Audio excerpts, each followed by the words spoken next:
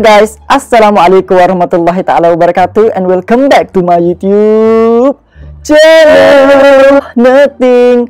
Ting ting ting. Hai guys. Orang yang baru masuk dekat channel ni Perkenalkan aku Izwan Shah Nasir Dan uh, hari ini kita akan react beberapa video-video yang sangat-sangat viral sejak 2-3 hari ni guys. So semenjak 2-3 hari ni memang banyak gila isu-isu yang viral dekat Twitter dan juga dekat TikTok. So kepada pengguna-pengguna TikTok pastilah akan tahu dan pasti akan pernah tertengok video-video dan juga orang kata uh, berita-berita yang pasal viral ni. So apa yang viralnya kan? Okay, so yang viralnya kali ni kita akan react pasal satu klip video yang dimuat naik oleh Datuk Alif Syukri. Juga akan react video yang katanya ada orang tu membelasah pelajar-pelajar tahfiz. Ha, aku sendiri pun tak tahu apa punca dia. Dan juga kita akan react pasal uh, seorang pancake Aha, seorang pancake yang katanya pergi buat umrah dekat Mekah.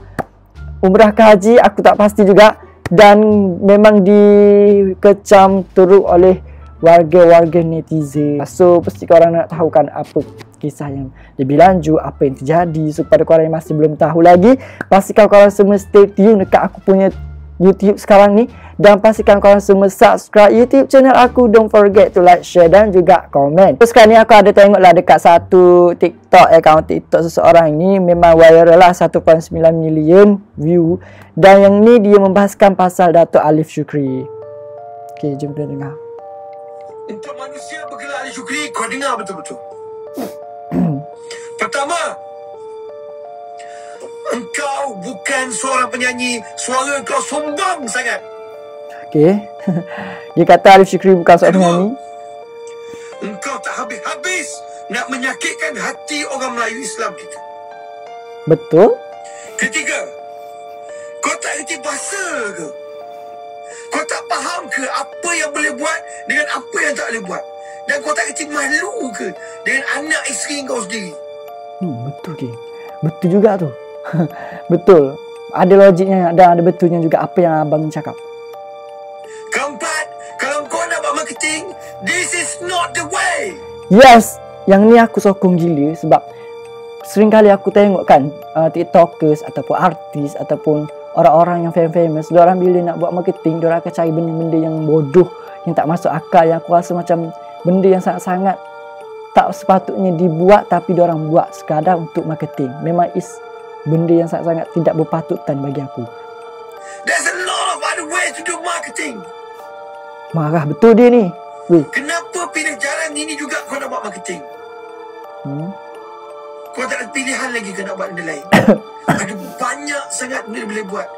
Kenapa kau pilih juga nak buat video lagu, klip video lagu dengan Baby Shima hmm. yang memakai pakaian yang tak senonoh macam tu?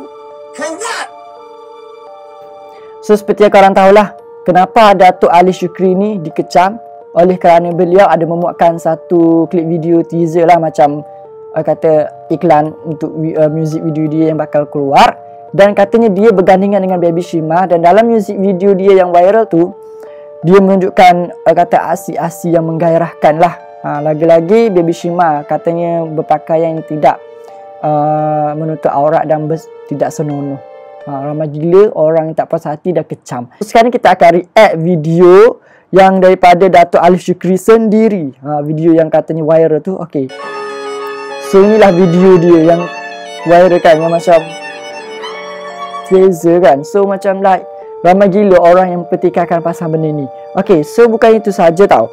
Adalah uh, ustaz-ustaz ataupun para-para yang berilmu yang menegur Datuk Alif Syukri. So mari kita dengar apa yang orang cakap. Fikir mati kita. Cara kematian kita bagaimana? Adakah kamu dah bersedia untuk menanggung dosa orang lihat video itu? Hmm?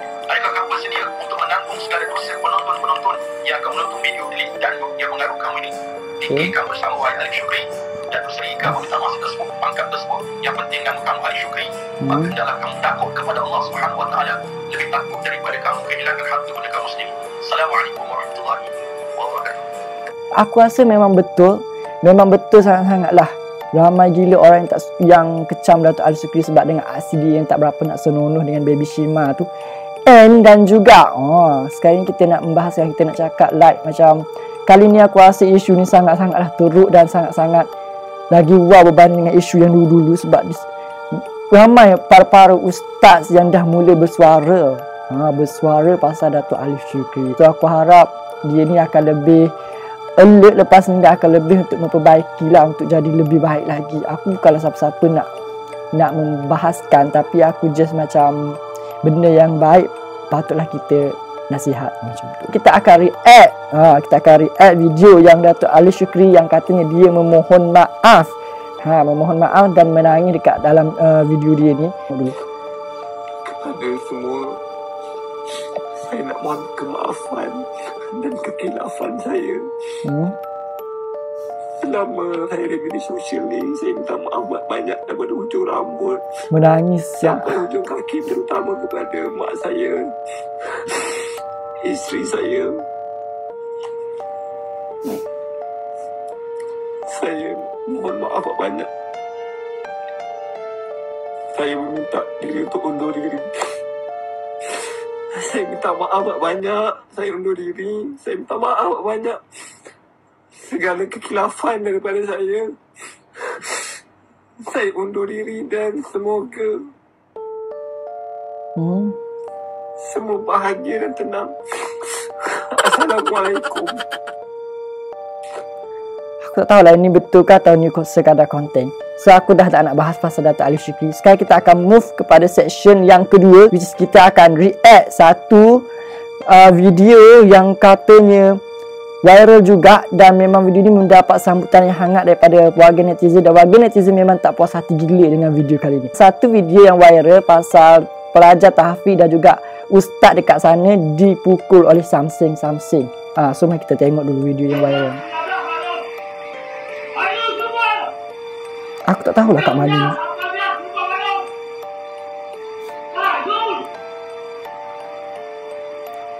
Pengetua dan pelajar sekolah tahfiz oh. Wih, kena pukul siap. Oh my gosh. Wih.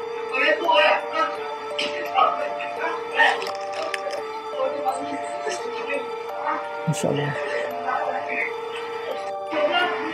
Weh, kenapa weh? Ni isu pasal apa weh? Ha, so kepada korang, kalau korang tahu, korang just komen saja dekat bawah tau. Kesian gila dekat pelajar dan juga dekat ust ustaz ni. Dan aku rasa benda ni tak sepatutnya berlaku lah, geng. Sebab, jelah, kita pergi dekat tempat yang suci, tempat belajar. Lepas tu nak tunjuk something apa semua kan. Dan aku harap pihak berkuasa akan mengambil tindakan lah dan akan menangkap orang yang dekat dalam klip video ni. So, sekarang ni kita akan move juga kepada section react ha, terhadap seorang wanita yang dipanggil Pengkit. Ha, yang katanya pergi dekat umrah dekat Mekah depan Kaabah dengan memakai pakaian yang orang kata macam orang lelaki. Ha, so seperti orang lelaki yang pergi menunaikan haji, dia orang pakai like, separuh macam macam mana aku nak cakap? Ha, pakaian tu lah yang pergi umrah, umrah tu. Tapi dia wanita So dia pakaian, pakaian berpakaian macam tu. Jadi juga mendapat perhatian yang hangat Dekat sosial media Dan mendapat teguran. So inilah teguran daripada ustaz tu. Heboh dekat Twitter. Katanya dia adalah seorang pengkit pengkit yang pergi menunaikan umrah mengenakan ihram iaitu pakaian lelaki. Berita tergempar pengkit pergi umrah hmm. pakai ihram. Ha, ha ha. Sebenarnya apa yang cuba dibuktikan? Nak tunjukkan apa? Nak bagi tahu golongan pengkit ni sebenarnya golongan yang Allah terima ke macam tu? Yalah pergi Betul. Mekah pakai ihram, elok je buat tawaf semua kan. Tak kena azab pun elok je selamat je buat umrah macam tu ke? Tolong jangan cabar Allah. Jangan cabar Allah. Betul. Jangan hina agama Allah. Jangan malukan negara kita Malaysia. Tolonglah golongan yang bertukar jantina ni sampai bila-bila Allah takkan terima. Bertaubat baru Allah akan terima dan ampunkan dosa. Ini adalah satu kemungkaran, satu dosa, satu kezaliman maksiat yang sangat besar dekat tanah suci pula tu. Kalau tak mampu taat perintah Allah, jangan buat kemungkaran. Orang macam ni cakap-cakap macam ni tak guna dah. Kena ada tindakan undang-undang dari kerajaan Saudi. Penjarakan ke, kena ke hukuman baru sedar diri. Tak mahu. Kan, betul. Nasihat. Amon. Ah, betul betul. Okey, so kita akan tengok video asli dia eh. Video asli dia. Oh ni. Eh. Kejap dia cakap apa sebelum orang tuduh saya photoshop nak bukti I nak edit. Dah masih pun hidung jadi Michael. Tolong. Oh, rupanya dia wanita kan? Thank you. Wish.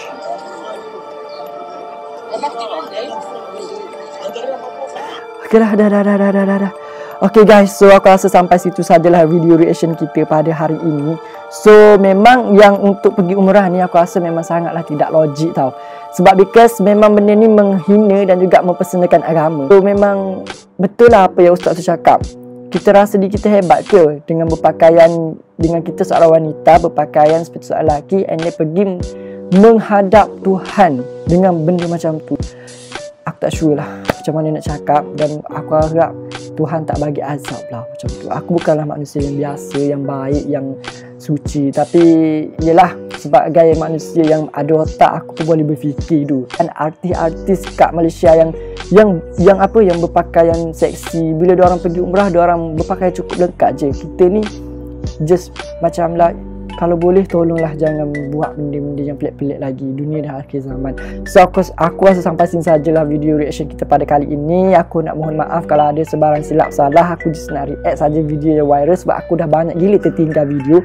So kepada korang jangan lupa untuk like, share dan juga subscribe my youtube channel. And until we meet the next video Assalamualaikum. Bye bye